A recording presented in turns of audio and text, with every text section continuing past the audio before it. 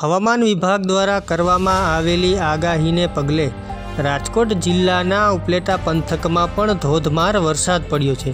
ત્યારે આ ધોધમાર વરસાદ પડવાને કારણે ઉપલેટા પંથકમાં આવેલ મોજ અને વેણુ બે ડેમ તેમજ ધોરાજી ભાદર બે ડેમ ઓવરફ્લો થતાં મોજ, ભાદર અને વેણુ નદીઓમાં ઘોડાપૂર આવ્યું હતું.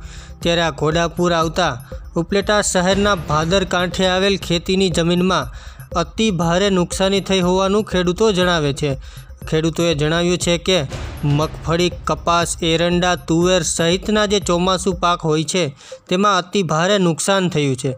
ત્યારે ભારે વરસાદને પગલે ડેમ ઓવરફ્લો થયેલ હોવાને લઈને ઓવરફ્લો થયેલા ડેમના પાટિયા ખોલાતા ડેમના હેઠવાસમાં આવેલા ગામો તેમજ નદી કાંઠા વિસ્તારોમાં આવેલ ખેડૂતોને આ વર્ષ અતિ ભારે નુકસાની વેઠવાનો વારો આવ્યો છે અને ખેડૂતોનો મહામૂલો ચોમાસું પાક હાલ સંપૂર્ણપણે નિષ્ફળ થઈ હોવાનું પણ જે ખેડૂતો દ્વારા જણાવ્યો છે. ત્યારે આ વર્ષ પણ ખેડૂતો માટે બરબાદી સાબિત થયું હોય તેવું પણ જે છે ખેડૂતો જણાવે છે. જે રીતે અહીંયા નુકસાની દેખાઈ રહી છે ત્યારે દ્રશ્યો પરથી પણ અંદાજ દેખાઈ જ રહ્યો છે કે આ મહામૂલો ચોમાસું પાક અત્યારે કેવી દશામાં દેખાઈ રહ્યો છે. અહીંયા અંદાજિત પાંચથી સાત ફૂટ જેટલા પાણીના પ્રવાહ આવ્યો હોવાનું પણ ખેડૂતોએ જણાવ્યું છે. ત્યારે ઉપલેટા પંથકના ભાદર કાંઠામાં આવેલ અંદાજિત પંદરસો હેક્ટર ખેતીલાયક જમીનને ભારે નુકસાન થયું છે. જેમાં મોલ પણ નિષ્ફળ ગયો છે અને ખેડૂતોની જમીનો પણ ધોવાઈ હોવાનું પણ જે છે ખેડૂતોએ જણાવ્યું છે. ત્યારે આ વર્ષ ખેડૂતોને લાખો રૂપિયાનું નુકસાન થયું હોવાનું પણ ખેડૂતોએ જણાવ્યું છે. એક નજરે જુઓ તો અહીંયા આપને દ્રશ્યોમાં પ્લાસ્ટિકના કચરાઓના ઢગલાઓ હોય તેવું દેખાશે. પરંતુ આ કોઈ પ્લાસ્ટિકના ઢગલાઓ નથી, પરંતુ જગતના તાત એવા ખેડૂતોનો મહામૂલો મોલ છે, જેમાં પાણીના વેણની સાથે પ્લાસ્ટિકનો પણ કચરો તણાઈને આવ્યો હતો અને આ ખેડૂતોના ખેતરોમાં રહેલા મોલમાં આવી ગયો છે ત્યારે આ પ્લાસ્ટિકનો કચરો ખેડૂતોને કઈ રીતે કાઢવો તે પણ એક ખેડૂતો માટે મોટી ચિંતા ઊભી થઈ છે. ત્યારે ખેડૂતો તંત્ર પાસે પણ મદદની માંગ કરી રહ્યા છે. જે રીતે ઉપલેટા શહેરના ભાદરકાંઠાના ખેડૂતોને નુકસાની થયેલ છે ત્યારે નુકસાની અંગે ઉપલેટા નગરપાલિકાના પૂર્વ પ્રમુખ અને ઉપલેટા ખેડૂત હિતરક્ષક સમિતિના પ્રમુખ દ્વારા ઉપલેટા મામલતદારને આવેદન પાથરવી અને જણાવ્યું હતું કે સિંચાઈ વિભાગના અધિકારીઓની ગંભીર બેદરકારીને લઈને ખેડૂતોને નુકસાની વેઠવાનો વારો આવ્યો છે.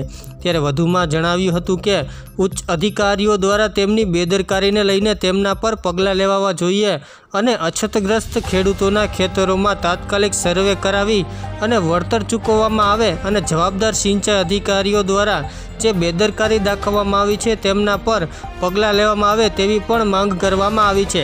સાથે જ વધુમાં જણાવ્યું હતું કે, જો માંગ નહીં સંતોષાય, તો ઉપવાસ આંદોલનની પણ આ તકે ચીમકી ઉચ્ચારી છે.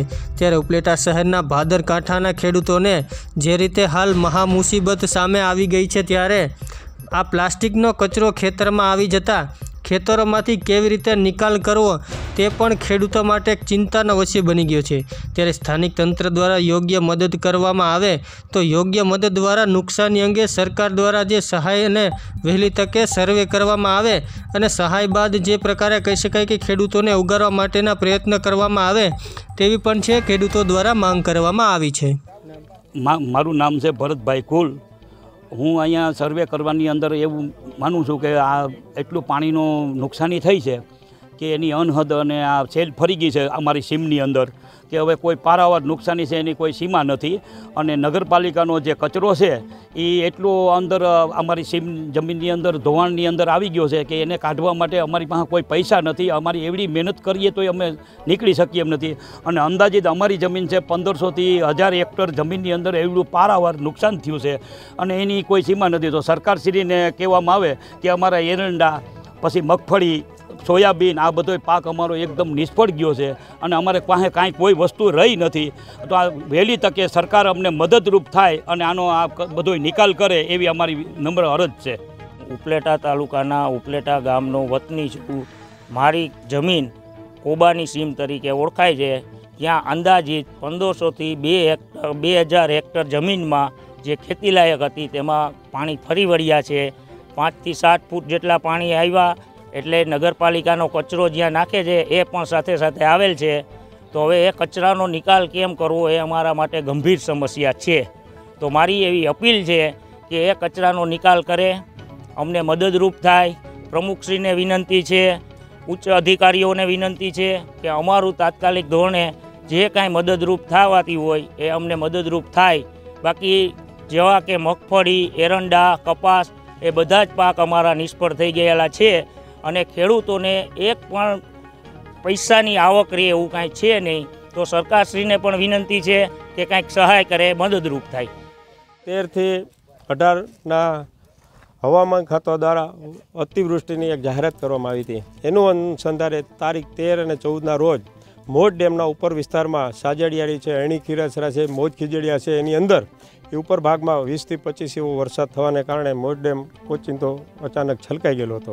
રાતના ત્યાં કોઈ અધિકારી હાજર ન હોવાને કારણે એના પાટિયા બંધ હતા. સવારના સાડા નવ સુધી કોઈ પાટિયા ખોલવામાં ન આવ્યો. પાટિયાની ઉપરથી બે ફૂટ ઓવરફ્લો પાણી જતું હતું. ત્યારે અમે તથા તાલુકા પંચાયતના પ્રમુખ ત્યાં ગયા અને આ પાટિયા ખોલાવવામાં આવ્યા. એ પાટિયા ખોલ્યા પછી જે પાણીનો અંદર જે ભરાવો હતો એ ઓચિંતો નીકળવાને કારણે મોજ નદીની અંદર જે કાંઠાનો વિસ્તાર આવે છે, કે કોબાની સીમ જમીન છે, વીડીની સીમ જમીન છે, એમાં ચાર ચારથી પાંચ પાંચ ફૂટ સુધી પાણી વહ્યા ગયા ખેડૂતના ખેતરોમાં. એક પાણી વહ્યા જવાને કારણે કપાસ છે, સોયાબીન છે, એરંડા છે આ- આવા બધાય મગફળી છે, એવા પાકને પુષ્કળ પ્રમાણમાં નુકસાન થયું આપણે જોઈ શકીએ છીએ અત્યારે જે આ કપાસનો પાક છે, સદંતર સૂઈ ગયો છે. એટલે આખી સીમ જમીનની અંદર આવી જ નુકસાની છે. અને મારે ખાસ કહેવાનું છે કે ખેડૂતનું વહેલામાં વહેલો સર્વે થાય, એને પૂરું વળતર મળે. અને જે મોજ ડેમ ઉપર જે અધિકારી હાજર ન હતા, એને કારણે આ પરિસ્થિતિ પેદા થઈ છે અને વ્યાપક નુકસાન થયું છે. આનું વળતર આપવા માટે સરકારને પણ ખર્ચા થશે. આ એક અધિકારીને થયું છે. તો મારે સરકારને અને કલેક્ટર સાહેબને એક નમ્ર વિનંતી છે કે આવા અધિકારીઓને ડિસમિસને સસ્પેન્ડ કરી એની સામે કાયદેસરના પગલાં લેવામાં આવે. નકર આ ખેડૂતો આને માટે ઉપવાસ આંદોલન કરવાના છે. કારણ કે હવે બે જવાબદાર અધિકારીઓ સામે પગલાં લેવા જ જોઈએ. એને એને માફ કરવાતા જ નથી.